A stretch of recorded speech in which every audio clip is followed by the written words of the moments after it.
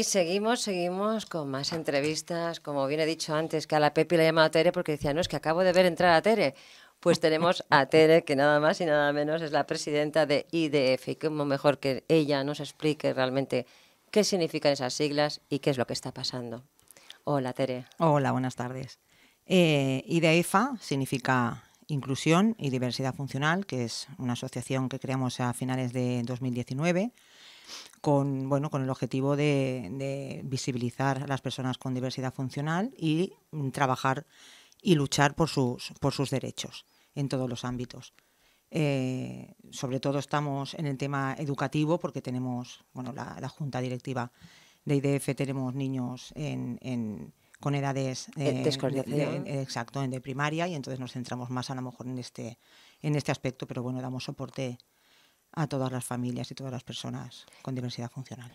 Esta diversidad funcional que existe eh, en estos niños maravillosos, que a los cuales, pues bueno, tienen, van a un colegio como todo el mundo y vosotros queréis que se trate y que haya mm, tutores, maestros especializados y preparados para también... Para que les den soporte dentro para que del den soporte dentro del aula. Bueno, esto lo dice la ley, ¿eh? También. No, no, no, pero es, que vosotros estáis reclamando ese soporte que existe y que sea más eficaz y más eficiente, ¿correcto? Porque siempre... Y más preparados. Exacto, exacto. Porque la problemática que existe siempre, bueno, a veces, aparte de que también eh, tenemos muy inculcado eh, mm, que estos niños eh, van a otra escuela muchas veces y esto pues también cuesta ¿no? de, cambiar esta mirada.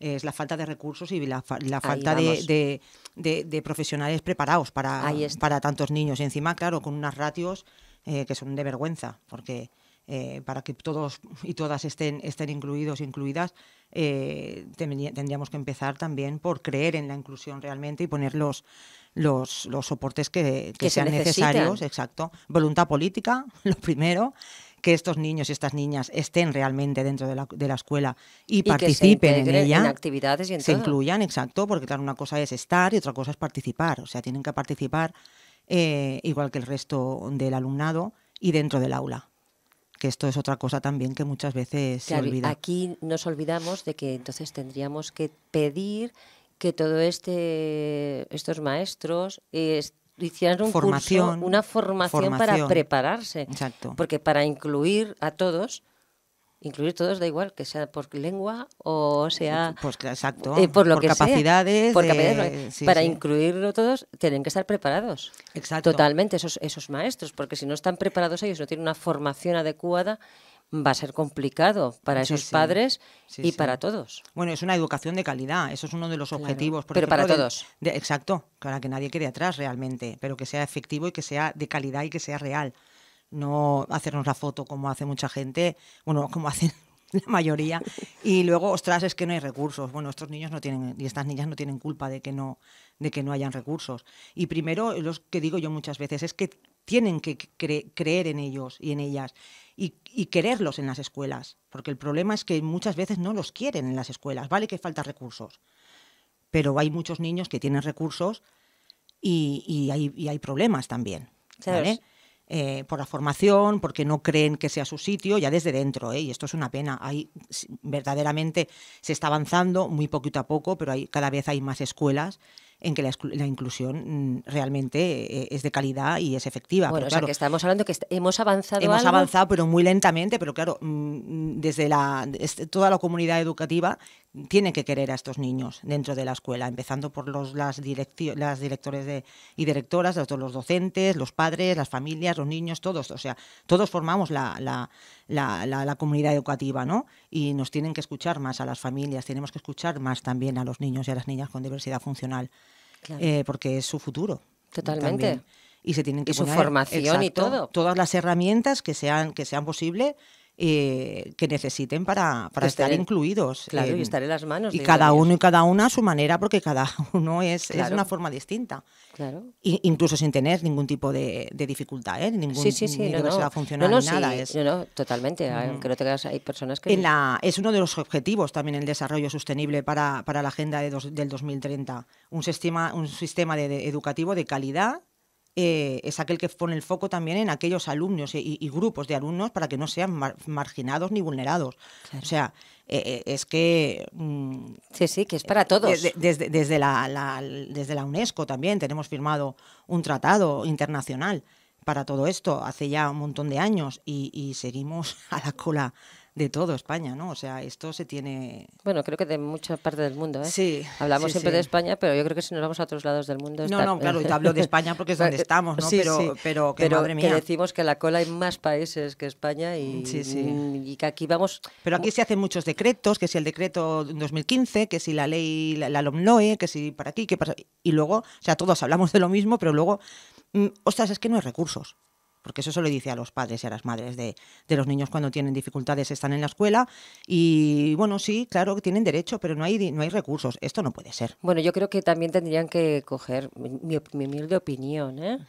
Es que estos tutores y maestros y maestras también implicarse un poco más, claro, cada vez hay más, ¿eh? Y cada vez hay, hay más. humanizarse más. Sí, y prepararse y para, prepararse y para escuchar ello. a las familias. Sí, que Y para eso, a las familias. para sí. eso habéis montado hace ya unos cuantos Sí. años esta, este Sí. núcleo tan bonito de padres, colegio, maestros, tutores, para echar una mano y para ayudar pues a un niño que no le gusta estudiar, porque hay niños que no les gusta estudiar, tienes que buscar la manera de que la materia esa, mm, pues si las matemáticas no le gustan, Hacerlo accesible. Totalmente.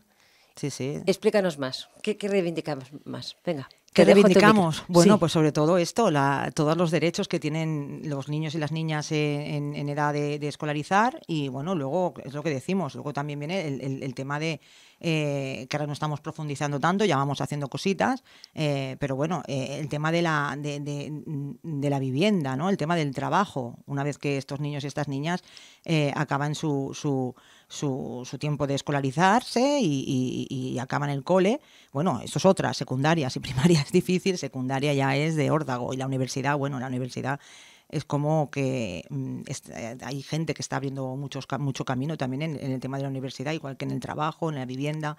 Eh, por eso es tan importante, creemos nosotros, el tema del asistente personal.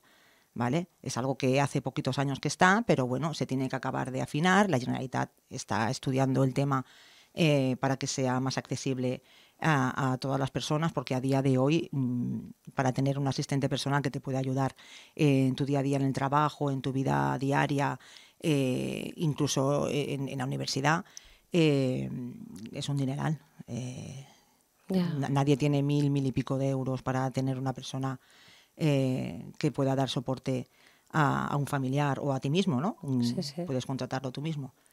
Eh, y en esto también queremos también Y pues- trabajar mucho Vale, para pues- que sea más accesible. A... Pues en todo este proyecto y esos puntos que te veo ahí en la hoja apuntados, eh, porque te ha traído la chuleta, hay que decirlo todo, te ha traído su tengo un mal chuleta. día, tengo la cabeza que me No. Y en esa chuleta no te dejes nada. Explícanos todo lo que pones en tu chuleta para dejarlo aquí en los micros abiertos en Radio Despi y de dónde se pueden dirigir también esas personas que necesiten esa ayuda, porque sois una asociación, una entidad, la cual ayudáis a otras familias también para seguir este camino, ¿no? Exacto. De ayuda. Pueden hacerlo a raíz de a, a través de nuestro correo electrónico que es idf2019.sjd@gmail.com.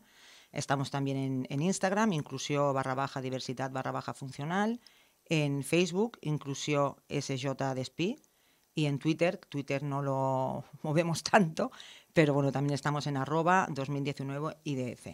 Vale, y ahí todo el mundo podrá, pues si necesita alguna información o que le echéis una mano, estaréis ahí para ayudar. Exacto. Damos más soporte a los socias y, y los socios, pero bueno, también a toda la gente que nos llama pidiendo asesoramiento y dando soporte, se lo damos. Pasa que sí, luego ahí tenemos que ayudarles con algún escrito o con algo así un poco más, un poco más complicado, entonces sí que tienen que estar asociados, pero bueno, que asociarse son 10 euros al año, o sea que tampoco es, es una manera simbólica que, que hemos hecho para, bueno, para que sea también accesible a todas las familias. ¿Tenéis un sitio para ir y que esas personas puedan acercarse a vosotros y hablar con vosotros, aparte de las páginas? de Bueno, tenemos el local en Maluque 2, abajo en San Juan, eh, pero claro, mm, vamos para cuando tenemos que hacer algún, alguna charrada o, o algún taller. o ¿Hacéis algo. alguna charla y hacéis algún taller? Sí, bueno, para los socios y las socias sí. Vale. Sí, vamos haciendo ahora en, en, en septiembre, empezaremos también unos, unos talleres de yoga sensorial y mutriu, que es súper chulo, Molt que son cinco sesiones. eh, bueno, cinco martes a la semana, o sea, durante cinco semanas. Pues per català, I- eh? Cap sí, sí. problema. Y, y bueno, esperamos que, que se lo pasen súper bien las niños y las niñas. Es súper chulo el taller, o sea, Pues, y vamos haciendo cositas siempre que podemos, porque claro, también todos trabajamos también, tenemos, pero bueno, mm, una asociación es esto, es trabajo todos los días y, y a todas horas. pues te agradezco mucho que hayas venido. Espero que si te dejas algún punto me lo digas ahora mismo, porque yo te dejas algo que tengas que decir, dímelo. Bueno, me dejo mil cosas, Pues- pero claro, en tan poquito tiempo no da. Pues no dime, dime, a algo que tú creas que es Objetivos, a ver, objetivos de la educación inclusiva. Eh, tú, por ejemplo, ¿qué piensas que es la- realmente la educación inclusiva? Porque hay mucha gente, yo muchas veces hablo y me dicen, Tere, es que tú, como ya lo, lo tienes tan integrado, ¿no? Eh, a, a veces te olvidas de que la gente no sabe ni lo que es diversidad funcional. Diversidad funcional es, bueno, pues lo que, lo que eh, mm, comúnmente de- hablamos de la discapacidad, ¿no? Pues Sí, es lo sí, mismo. motora. ¿vale? Exacto. Ex- inclusión. Inclusión es que todas las persones con diversidad funcional o sin diversidad funcional gau, gaudeixen dels mateixos drets. Que me voy al català. Eh, ves- ves- mira que soy castellano parlante, eh? no però passa claro, com res, tu pots gaudeixen de tots els mateixos drets i qualsevol ciutadà i participa a la societat perquè està dins d'ella. Correcto. ¿vale? Eh, que se, se, se confunde muchas veces con integración. Integración son las personas con diversidad funcional que consiguen integrarse, eh, serán consideradas parte del grupo. Si no se eh, integran, mm, quedan eh, ex- Excluidas. O sea, eh, muchas veces nos, nos confundimos eh, Sí, con los términos y, integración, y- sí. y es diferente. Hace años ya funcionaba bien el tema de la integración, pero hoy en día ya tenemos que dar Sí. como un paso Un paso adelante, porque integración es como es alguien que viene de fuera y tenemos que Se- integrarlos. Se, se integra Porque la lengua y todo cambia y tal. y Exacto, no pero se que- le hace un hueco Exacto. mm, con las características que tiene la persona para que sea bienvenido tal y como es, ¿no? Eh, se tiene que amoldar. Y claro, una persona eh, mm, con dificultades, con, con, eh, mm, con, sus capacidades, es como si a una persona ciega le dices que tiene que ver por narices. Exacto, A ver, va a ser que no. eh, y a un sordo ¿vale? que oiga, va a ser que no. Eso, por favor, esto hay que... Hay que Y a veces parece mentira, pero esto cuesta. Con mi hija, por ejemplo, estuvimos, hemos estado dos años para que se pueda, eh, para que ella pueda utilizar el sistema de comunicación en su escuela. Es muy fuerte, ¿eh? ¿Lo lo has Vale. conseguido? Bueno, sí, pero nos cambiamos de cole. Bueno, pero lo habéis conseguido. Nos cambiamos de cole porque esto ya es, es infumable, o sea, ya te contaré otro día. Vale. porque es de, de- de película. Pero bueno, ahora estamos muy ilusionados con el nuevo colegio al que van a ir las niñas. eh, ya no se podía aguantar en el colegio donde estaban. Pero ahora las perspectivas Y ahora súper bien, están súper contentas, fuimos a ver la escuela, están, bueno, y es un colegio que, que tiene la las- inclusión bastante, bastante Y por las están venas, o sea preparadas que- esas, maestras, tutores, Sí, están sí, en un principio sí, parece todo apuntado a que sí, que están, Pues- porque tienen muchos niños con diversidad funcional y, y sin ella y, y- y, bueno, nos dio, nos dio muy buen, Pues espero que para punto. diciembre vengas a decirnos que que estamos súper contentos. Exacto. Pues Tere. Te agradezco que hayas venido aquí. Y recuerda gracias a todos los amigos que están escuchando esta entrevista maravillosa con Tere que pueden dirigirse a la página Facebook, YouTube, Instagram. Repítenos otra vez, por favor, para que El correo electrónico, muy importante, idf2019.sjd.gmail.com. Pues ahí podréis dirigiros para hablar, si te sirve ayuda, y si os hacéis socios por 10 euritos, que no es Y nada. si no es igual, y si no les es igual, no atendemos igual. Pues, Les atendemos igual. Gracias por todo y me voy a ir con otro compañero que está a punto de llegar. Bueno, mejor dicho, que ya acaba de llegar. Ya está por aquí. Ya está. Muy ¿Quieres mandar bien. un saludo a alguien? Ya se aprovecha, tus Bueno, niñas. saludamos a, a mi niña preciosa Elsa y a mi niña preciosa Ruth y bueno, a toda la familia, a todas las socias, a todos los socios, a toda San Juan de Espí, a Dani por darnos esta oportunidad también de las fiestas del Karma, eh, Dani Frías, que es el, el presidente, presidente de de la la- Asociación de Vecinos, que nos está echando un cable también súper importante para que Las Planas sea cada vez más inclusivo. Apostado por, por, por nuestra, por nuestra idea y, y nuestra lucha. Y, y, bueno, estamos haciendo cosas muy chulas y cada vez se harán más. Pues seguimos, seguimos. Y Muy vamos bien. por la siguiente entrevista. Chao. Volvemos ahora. Adiós.